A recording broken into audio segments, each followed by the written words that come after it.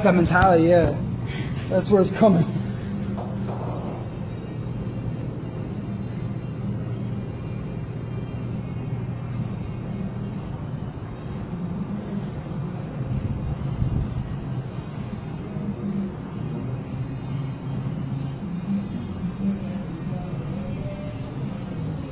To the bone.